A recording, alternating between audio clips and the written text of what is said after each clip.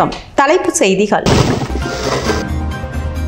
புதுச்சேரியில் மீண்டும் உச்சம் தொட்ட கொரோனா. ஒரே நாளில் இருநூற்றி தொன்னூற்றி மூன்று பேர் பாதிப்பு.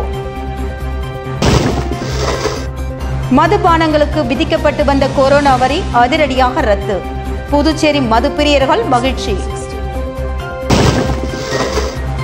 புதுவையில் தொடர்ந்து அதிகரித்து வரும் கொரோனா தொற்று. முன்னெச்சரிக்கை நடவடிக்கை குறித்து ஆரம்ப சுகாதார நிலைய அதிகாரிகளுடன் துணைநிலை ஆளுநர் தமிழிசை ஆலோசனை.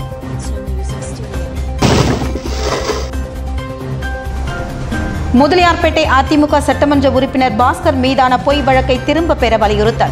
கடலூர் சாலையில் முன்னூறுக்கும் மேற்பட்டோர் மறியலால் போக்குவரத்து பாதிப்பு. இனி விரிவான செய்திகள். புதுச்சேரியில் புதிய உச்சமாக ஒரே நாளில் இருநூற்றி தொன்னூற்றி மூன்று பேருக்கு கொரோனா தொற்று உறுதி செய்யப்பட்டுள்ளது. இது பொதுமக்களிடையே பெரும் அச்சத்தை ஏற்படுத்தியுள்ளது. புதுச்சேரியில் புதன்கிழமை மூன்றாயிரத்தி நானூற்று ஐம்பத்தி ஒரு பேருக்கு கொரோனா தொற்று பரிசோதனை நடத்தப்பட்டது. புதிதாக இருநூற்றி தொன்னூற்றி மூன்று பேருக்கு தொற்று உறுதி செய்யப்பட்டதில் புதுவையில் நூற்றி எண்பத்தி ஒரு பேரும் காரைக்காலில் எண்பத்தி ஏழு ஏனமில் பத்து மாகியில் பதினைந்து பேர் புதிதாக தொற்றுடன் சிகிச்சை பெற்று வருகின்றனர். புதுவையில் தற்போது நானூற்றி பதினாறு காரைக்காலில் ஐம்பத்தி ஒன்று ஏனமில் பதினேழு மாகியில் ஆறு பேர் நோய் தொற்றுடன் மருத்துவமனையில் சிகிச்சை பெற்று வரும் நிலையில். புதுவையில் தொன்னூற்றி ஒன்று காரைக்காலில் பதினேழு ஏனமில் இரண்டு மாகியில் மூன்று பேர் என நூற்றி பதிமூன்று பேர் சிகிச்சை குணமடைந்து வீடு திரும்பியுள்ளனர். புதுச்சேரி மாநிலத்தில் ஒட்டுமொத்தமாக இதுவரை நாற்பத்தி மூன்றாயிரத்து இருநூற்றி நாற்பத்தி இரண்டு பேர் கொரோனா தொற்றால் பாதிக்கப்பட்டுள்ள நிலையில். புதுவையில் தொள்ளாயிரத்தி தொன்னூற்றி இரண்டு காரைக்காலில் நானூற்றி முப்பத்தி ஆறு ஏனமில் இருபத்தி ஒன்று மாகியில் அறுபத்தி ஒரு பேர் என ஆயிரத்தி ஐநூற்றி பத்து பேர் அவரவர் வீடுகளில் தனிமைப்படுத்தப்பட்டுள்ளனர். மேலும் புதுவையில் கடந்த சில நாட்களாக இருநூறு பேருக்கு தொற்று பரவி வந்த நிலையில் புதன்கிழமை ஒரே நாளில் இருநூற்றி தொன்னூற்றி மூன்று பேருக்கு தொற்று பரவி உள்ளது அதிர்ச்சியை ஏற்படுத்தியுள்ளது. நாள்தோறும் கொரோனா தொற்று வேகமாக பரவி வருவதால் அனைவரும் முகக்கவசம் சமூக இடைவெளியை பின்பற்ற சுகாதாரத்துறை அறிவுறுத்தியுள்ளது. புதுச்சேரியில் கடந்த மே மாதம் முதல் மதுபானங்களுக்கு விதிக்கப்பட்டிருந்த கொரோனா வரி மீண்டும் ரத்து செய்யப்பட்டுள்ளது. நாடு முழுவதும் கொரோனா பரவ துவங்கியதை அடுத்து கடந்த ஆண்டு மார்ச் மாதம் இருபத்தி நான்காம் தேதி முதல் முழு ஊரடங்கு பிறப்பிக்கப்பட்டது. இதன் முக்கிய அம்சமாக மதுபான கடைகளும் நாடு முழுவதும் மூடப்பட்டது. இரண்டு மாதங்கள் இதே நிலை நீடித்த நிலையில் மே மாத இறுதியில் புதுச்சேரியில் மதுக்கடைகள் திறக்கப்பட்டன. ஆனால் அண்டை மாநிலமான தமிழகம் பிற மாநிலங்களில் இருந்து மதுப்பிரியர்கள் புதுவைக்கு வருவதை தடுக்கும் வகையில் புதிதாக கொரோனா வரி விதிக்கப்பட்டது. இதனால் புதுவையிலும் தமிழகத்துக்கு இணையாக மது விற்பனை செய்யப்பட்டது. புதுவையில் மட்டும் விற்பனை செய்யப்படும் மதுபானங்களுக்கு இருபத்தி ஐந்து சதவீத வரி விதிக்கப்பட்டது. இந்த வரி தொடர்ந்து நீட்டிக்கப்பட்டும் வந்தது. கடந்த மார்ச் முப்பத்தி ஒன்றாம் தேதியுடன் இந்த வரிக்கான காலம் முடிவடைந்த போதும் தேர்தல் நடத்தை விதிமுறைகள் அமலில் இருந்து வந்ததால் உடனடியாக வரியை ரத்து செய்யவில்லை. அதற்கு பதிலாக மறு உத்தரவு வரும் வரை கொரோனா வரி நீடிக்கும் என கலால்துறை அறிவிப்பு ஒன்றை வெளியிட்டிருந்தது. இந்நிலையில் கடந்த ஆறாம் தேதி ஓட்டுப்பதிவு முடிவடைந்தது. இதனைத் தொடர்ந்து கலால்துறை ஒரு புதிய அறிவிப்பை வெளியிட்டுள்ளது. அதன்படி கூடுதலாக மதுபானங்களுக்கு வசூலிக்கப்பட்டு வந்த கொரோனா வரி ரத்து செய்யப்பட்டுள்ளதாக அறிவிக்கப்பட்டுள்ளது. வியாழக்கிழமை முதல் எம்ஆர்பி விலையில் மதுபானங்களை விற்கலாம் என தெரிவிக்கப்பட்டுள்ளது. கொரோனா ஊரடங்கால் புதுச்சேரியின் பொருளாதாரம் கடுமையாக பாதிக்கப்பட்டிருந்தது. வழக்கமாக கலால்துறை மூலம் அதிக அளவில் அரசிற்கு வருவாய் கிடைக்கும். ஆனால் கொரோனா வரி விதி காரணமாக மதுபானங்களின் விற்பனை சரிந்தது. கொரோனா தொற்று படிப்படியாக குறைந்தாலும் வெளி மாநிலத்திலிருந்து வரும் மதுபான பிரியர்களின் வருகை குறைந்தது. மேலும் புதுவையில் சில மதுபானங்கள் பீர் வகைகளின் விலை இரு மடங்காக இருந்து வந்தது. இந்நிலையில் தற்போது பழைய விலைக்கு மதுபானங்களின் விற்பனை துவங்கியுள்ளது. தமிழகத்தை விட அதிக அளவு குறைந்ததால் மது பிரியர்களிடம் மகிழ்ச்சியை இந்த சம்பவம் ஏற்படுத்தியுள்ளது. மாநில அரசு கொரோனா வரியை உயர்த்தியது. கொரோனா வரியை என்ற புதிய வரியை மதுபானங்களுக்கு உயர்த்தியது. அதன் மூலம் சுற்றுலாத்துறையின் வரவு வந்து ரொம்ப குறைவாக இருந்தது. வருமானமும் அரசுக்கு பெரிய இழப்பாக இருந்தது. நேற்று முதல் கொரோனா வரியை நீக்கியதன் மூலம் சுற்றுலா பயணிகளின் வரத்து அதிகரிக்கும் மற்றும் மீண்டும் பழையபடி புதுச்சேரி வந்து மதுபானங்கள் விற்பனை உயரும். அஹ், எங்களது மனமான நன்றியை பாராட்டுகிறேன் புதுவையின் அனைத்து ஆரம்ப சுகாதார நிலைய மருத்துவ அதிகாரிகளுடன் காணொலி காட்சி மூலம் ஆலோசனை நடத்திய துணைநிலை ஆளுநர் தமிழிசை சவுந்தரராஜன் கொரோனா தடுப்பு முன்னெச்சரிக்கை நடவடிக்கைகளை மேற்கொள்ள உத்தரவிட்டுள்ளார். புதுச்சேரியில் மீண்டும் கொரோனா பாதிப்பு நாளுக்கு நாள் அதிகரித்து வருகிறது.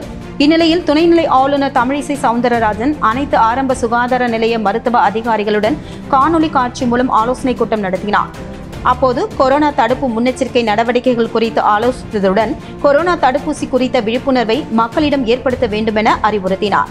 மேலும் புதுச்சேரியின் அனைத்து பிராந்தியங்களிலும் தடுப்பூசி முகாம்களை அதிகப்படுத்திடவும் சுகாதாரத்துறை துணை இயக்குநரிடம் வலியுறுத்திய அவர் மருத்துவமனைகளில் படுக்கைகளை அதிகரிக்கவும் ஊடகங்கள் மூலமாக விழிப்புணர்வை அதிகரிக்கவும் அறிவுறுத்தியுள்ளார்.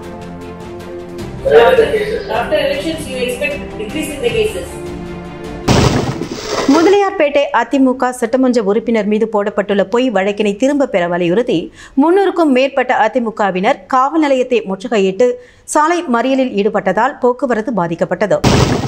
புதுச்சேரி முதலியார்பேட்டை தொகுதியில் தேர்தல் பிரச்சாரத்தின் போது அதிமுக திமுகவினரிடையே தகராறு ஏற்பட்டுள்ளது. இது தொடர்பாக முதலியார்பேட்டை அதிமுக சட்டமன்ற உறுப்பினர் பாஸ்கர் மற்றும் அதிமுகவினர் சிலர் மீது முதலியார்பேட்டை போலீசார் வழக்கு பதிவு செய்துள்ளதாக கூறப்படுகிறது. இந்நிலையில் முதலியார்பேட்டை அதிமுக சட்டமன்ற உறுப்பினர் பாஸ்கர் மீது முதலியார்பேட்டை காவல் நிலையத்தில் பொய் வழக்கு போடப்பட்டுள்ளதாக குற்றம் சாட்டியும் வழக்கை திரும்ப பெற கோரியும் காவல் நிலைய ஆய்வாளரை கண்டித்தும் முன்னூறுக்கும் மேற்பட்ட அதிமுகவினர் சட்டமன்ற உறுப்பினர் பாஸ்கர் தலைமையில் முதலியார்பேட்டை காவல் நிலையத்தை முற்றுகையிட்டு போராட்டத்தில் ஈடுபட்டனர். மேலும் போராட்டத்தில் ஈடுபட்டவர்கள் திடீரென புதுச்சேரி கடலூர் சாலையில் அமர்ந்து காவல்துறையினருக்கு எதிராக கோஷங்களை எழுப்பி சாலை மறியல் போராட்டத்தில் ஈடுபட்டனர்.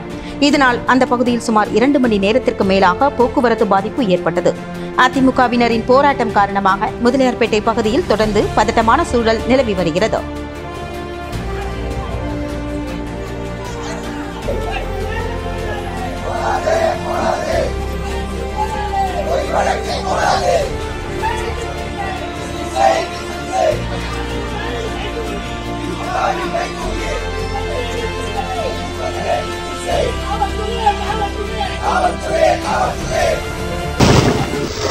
புதுச்சேரியில் கொரோனா தொற்று அதிகரித்து வரும் நிலையில் அரசு மற்றும் தனியார் மருத்துவமனைகளில் படுக்கைகளை தயார் நிலையில் வைத்திருக்குமாறு முன்னாள் முதலமைச்சர் நாராயணசாமி வலியுறுத்தியுள்ளார்.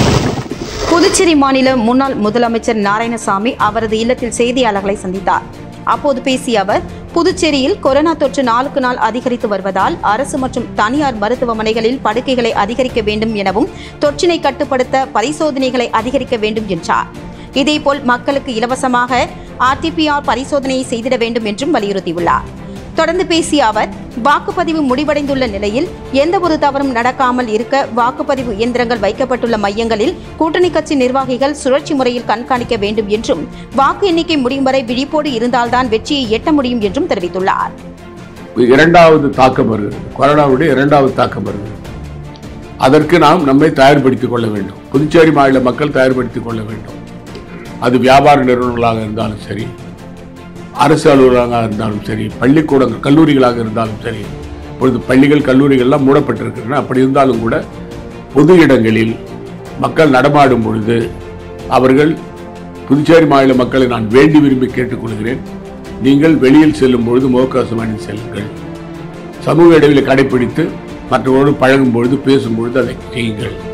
அடிக்கடி உங்களுடைய கைகளை சானிடைசர் வைத்து கிருமிநாசினி வைத்து கையை கழுவுங்கள். அதன் மூலமாக புதுச்சேரி மாநிலத்தில் கொரோனா தொற்றை நாம் கட்டுப்படுத்த முடியும்.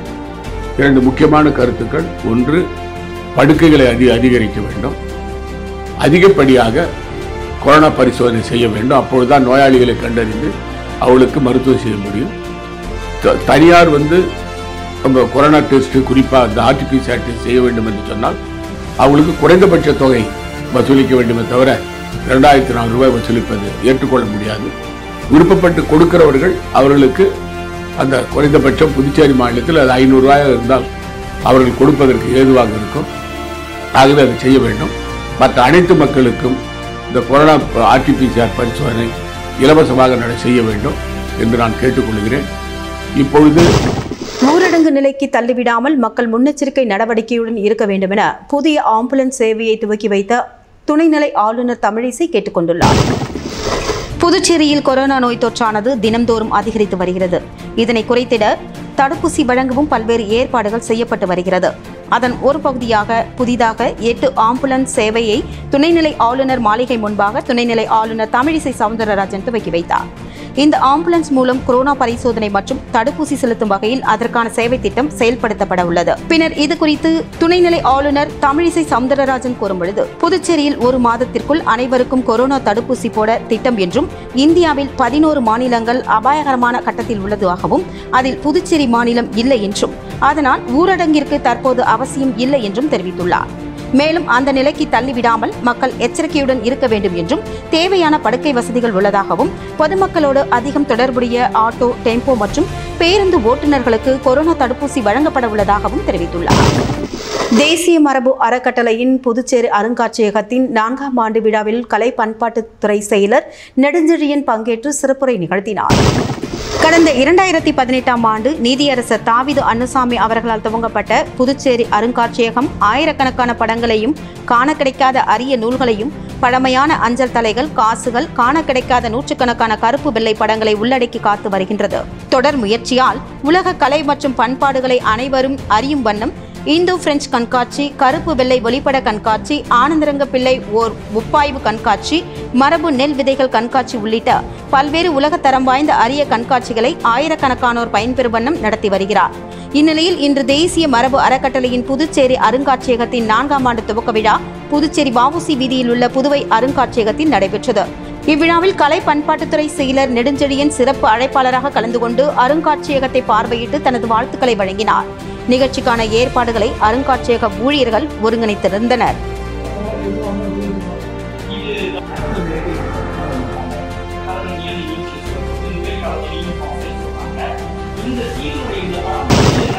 செய்திகள் தொடர்கின்றன. வில்லியனூர் மாதா திருத்தலத்தின் ஆண்டு திருவிழா வருகின்ற பத்தாம் தேதி கொடியேற்றத்துடன் துவங்கப்பட உள்ளதாக ஆலய பங்குத்தந்தை அறிவித்துள்ளார்.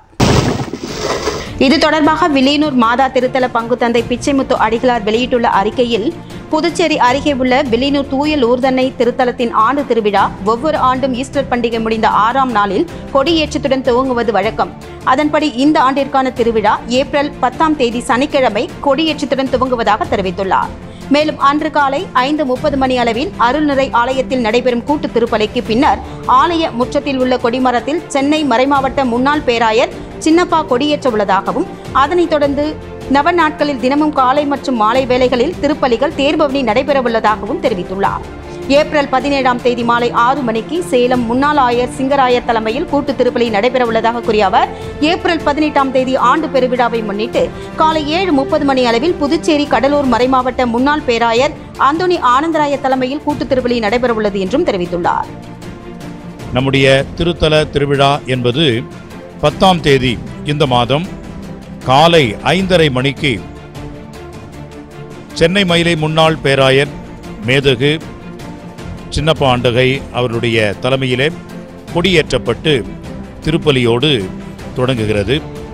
காலை ஆறு மணி திருப்பலி வழக்கமாக நடைபெறுகிறது போல இருக்கும். மாலையிலே ஆறு மணிக்கு நவநாள் திருப்பலியும் திருப்பலி முடிந்த பிறகு பெரிய தேர்பவனியும் இடம்பெறும். கடைசி மூன்று நாட்கள் முத்திரு நாட்களாக கொண்டாடப்படுகிறது. எனவே அதனுடைய சிறப்பு நிகழ்வாக சனிக்கிழமை திருவிழா முன் மாலை திருப்பலி கொண்டாடப்படுகிறது. அடுத்த நாள் பதினெட்டாம் தேதி ஞாயிற்றுக்கிழமை நம்முடைய திருத்தல திருவிழா. அன்று காலை நம்முடைய முன்னாள் பேராயர் மேதகு அண்டனி ஆனந்தராயர் அவர்கள் திருவிழா திருப்பலியை காலை ஏழரை மணிக்கு நிறைவேற்றுகின்றார். அன்றைய நாள் முழுதும் விழா கொண்டாட்டம். இரவு ஏழரை மணிக்கு நம்முடைய திருத்தல பெரிய தேர்பவனி நடைபெறும். அதற்கு முன்பாக மாலை ஆறு மணிக்கு நம்முடைய மறைமாவட்ட பரிபாலக ஆயர் பீட்டர் அபீர் அவர்கள் மாலை திருப்பலியை சிறப்பிக்கின்றார்கள். எனவே இந்த திருப்பலியிலேயும் தேர்பவனியிலேயும் அனைவரும் கலந்து கொள்ளுமாறு உங்களை அன்போடு அன்னையின் பெயரால் அழைக்கின்றேன். நடிகர் தனுஷ் நடிப்பில் வெளியாக உள்ள கர்ணன் திரைப்படம் குறித்து அவரது ரசிகர்கள் புதுச்சேரி கடல் பகுதியில் பேனர் வைத்துள்ளது. பெரும் வரவேற்பை பெற்றுள்ளது. புதுச்சேரியின் கடற்கரை சாலை காந்தி சிலை பின்புறமாக பழைய துறைமுக தூண்கள் இன்றளவும் உள்ளது. சுற்றுலா பயணிகளை பெரிதும் கவரும் இந்த தூண்களானது அவ்வப்போது புதுச்சேரி ரசிகர்களால் அந்தந்த கதாநாயகர்களின் படம் வெளியாகும் போது படகில் சென்று பேனர் கட்டுவது வழக்கமாகியும் வருகிறது. இந்நிலையில் நடிகர் தனுஷ் நடிப்பில் நாளை வெளியாக உள்ள கர்ணன் திரைப்படம் குறித்து அவரது ரசிகர்கள் படகு மூலம் சென்று பழைய துறைமுக தூண்களில் தனுஷ் நடித்த கர்ணன் பட போஸ்டரை கட்டியுள்ளனர். சுற்றுலா பயணிகள் மற்றும் கடற்கரைக்கு வருவது வெகுவாக கவர்ந்து வரும் நிலையில் இது அனைவரது கவனத்தையும் பெற்றுள்ளது. சத்தீஸ்கர் மாநிலத்தில் தீவிரவாதிகளால் சுட்டுக் கொல்லப்பட்ட சிறப்பு பாதுகாப்பு படை வீரர்களுக்கு முன்னாள் ராணுவ வீரர்கள் லீக் சார்பில் புதுச்சேரியில் அஞ்சலி நிகழ்ச்சி நடத்தப்பட்டது. சத்தீஸ்கர் மாநிலம் சிக்மா பீஜ்பூர் பகுதியில் மாவோயிஸ்ட் தீவிரவாதிகளால் சுமார் இருபத்தி இரண்டு மத்திய சிறப்பு பாதுகாப்பு படை வீரர்கள் சுட்டுக் கொல்லப்பட்டனர். இதனையொட்டி புதுச்சேரி அரசு போர் வீரர்கள் நினைவு சின்னத்தில் இந்திய முன்னாள் ராணுவ வீரர் லீக் சார்பாக தலைவர் மோகன் தலைமையில் நிர்வாகிகள் மலர் வளையம் வைத்து அஞ்சலி செலுத்தினர். திடீர்னு அங்கே போகிறாங்க அங்கே போயிட்டு ஹோம் மினிஸ்டர் போய் இறங்கி போய் பார்க்குறாரு அவங்க பண்ணுறாங்கன்னா அதோட வேலை முடிஞ்சு போயிடும் அவ்வளோ அவ்வளோதான் ஏன்னா அதுக்கப்புறம் அவங்களுக்கு ஒரு எலெக்ஷன் இருக்குது நாடெல்லாம் அடுத்தது. எலெக்ஷன் இருக்குது எலெக்ஷனை பார்க்கணும் அவங்க அதுக்காக ராணுவ வீரர்களையும் இந்த பாதுகாப்பு படை வீரர்களையும் நீங்கள் உயிரை பணையை வச்சு நீங்கள் வந்து விளையாடுறது வந்து ரொம்ப அசிங்கம். அந்த இருபத்தெட்டு பேருடைய குடும்பத்திற்கும் எங்களுடைய புதுச்சேரி முன்னாள் ராணுவ வீரர்கள் லீக் சார்பாக எங்களுடைய ஆழ்ந்த அனுதாபங்களை நாங்கள் தெரிவிச்சுக்கிறோம். இந்த மாதிரி ஒரு சுச்சுவேஷன் இனிமேல் வந்து நாட்டில் நடக்கவே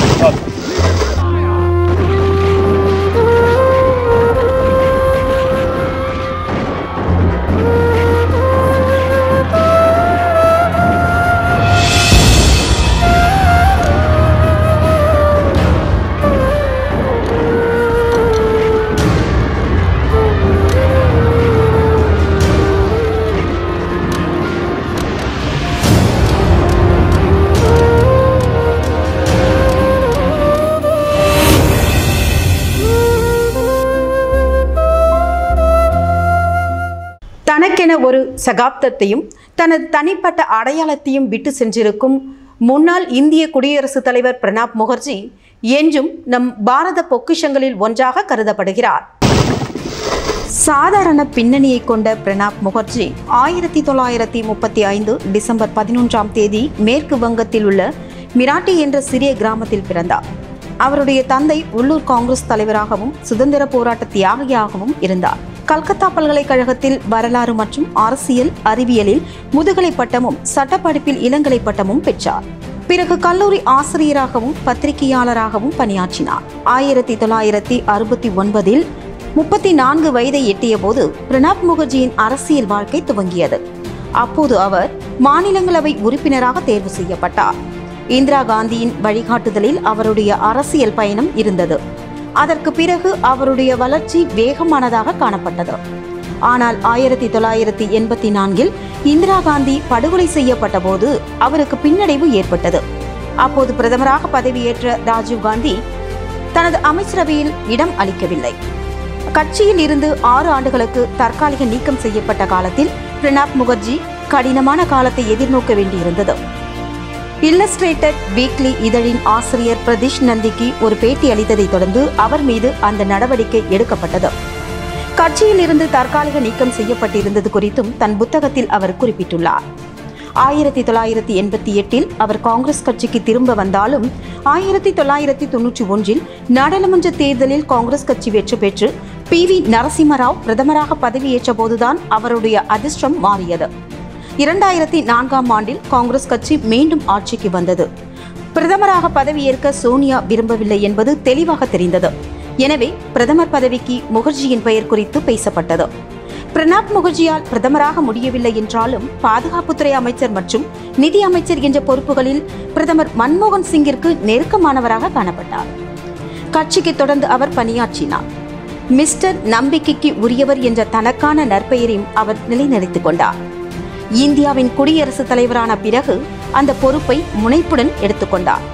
இரண்டாயிரத்தி பதினான்காம் ஆண்டில் பாஜக ஆட்சிக்கு வந்த பிறகு மோடி அரசுடன் அவர் நல்லுறவை பராமரித்தார்.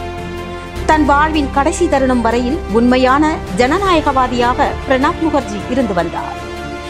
கன நேரத்தில் கட்சி மாறிவிடக்கூடிய தலைவர்கள் மிகுந்துவிட்ட இந்த காலத்தில் ஒரு சகாப்தத்தையும் தனது தனிப்பட்ட அடையாளத்தையும் விட்டு சென்றிருக்கும் முன்னாள் குடியரசுத் தலைவர் பிரணாப் முகர்ஜி என்றும் நம் பாரத பொக்கிஷம்.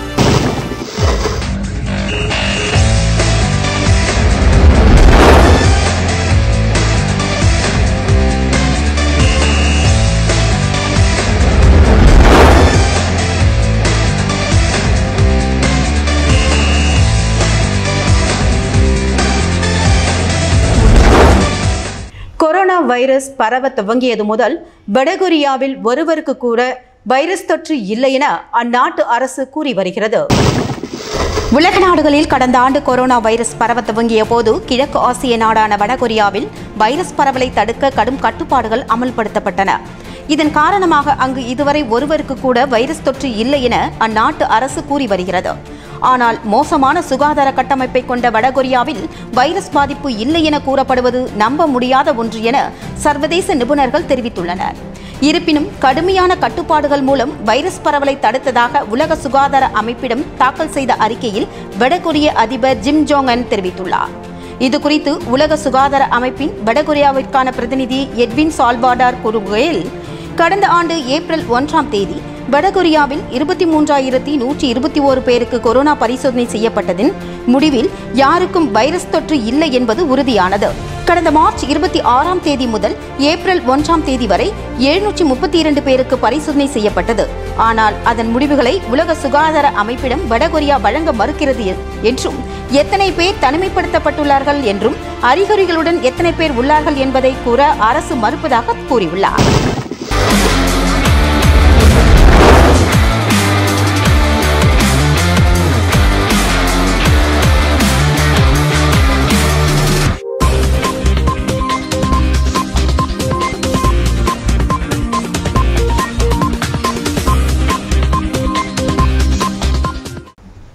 கடைசி ஒருநாள் கிரிக்கெட் போட்டியில் இருபத்தி எட்டு ரன்கள் வித்தியாசத்தில் தென்னாப்பிரிக்காவை வீழ்த்திய பாகிஸ்தான் இரண்டுக்கு ஒன்று என்ற தொடரை கைப்பற்றியுள்ளது.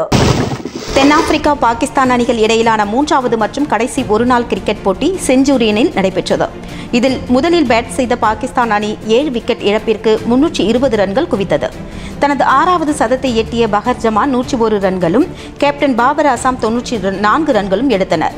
கடைசி பந்தில் சதத்திற்கு சிக்ஸர் தேவைப்பட்ட போது பந்தை தூக்கி அடித்த பாபர் அசாம் கேட்ச் ஆகி போனார். அடுத்து களம் கண்ட தென்னாப்பிரிக்கா நூற்றி இருபத்தெட்டு ரன்னுக்குள் நான்கு விக்கெட்டுகளை இழந்து திணறியது.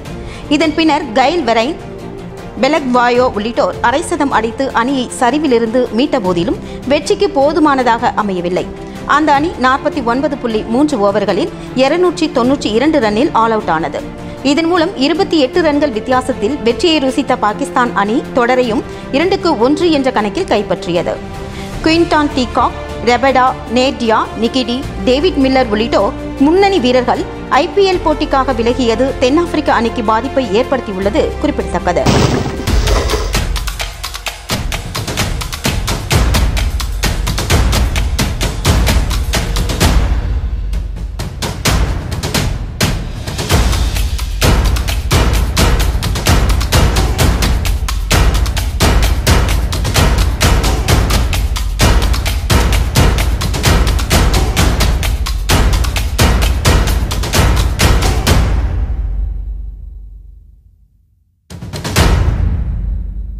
இது அரிய படம். நாம் அறிந்து கொள்ள வேண்டிய புகைப்படம். ஹார்லி டேவிட்சன் மோட்டார் சைக்கிளை உருவாக்கிய வில்லியம் ஹார்லி மற்றும் ஆர்தர் டேவிட்சன் உள்ளிட்டோரின் ஆயிரத்தி தொள்ளாயிரத்தி பதினான்காம் ஆண்டு எடுக்கப்பட்ட இந்த அரிய படம் நாம் அறிந்து கொள்ள வேண்டிய புகைப்படம்.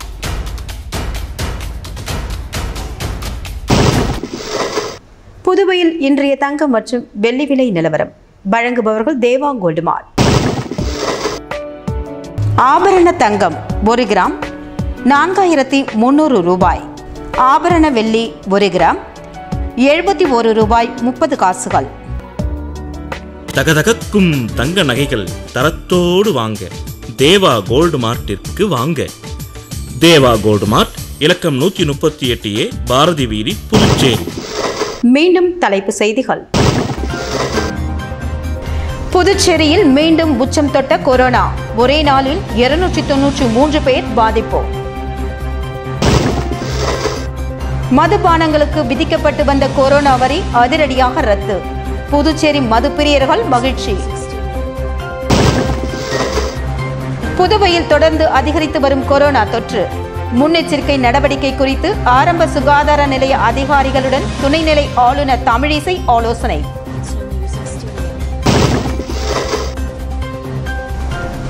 முதலியார்பேட்டை அதிமுக சட்டமன்ற உறுப்பினர் பாஸ்கர் மீதான பொய் வழக்கை திரும்பப் பெற வலியுறுத்தல்.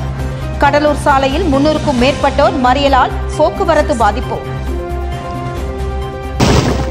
இத்துடன் செய்திகள் நிறைவு பெற்றன. வணக்கம்.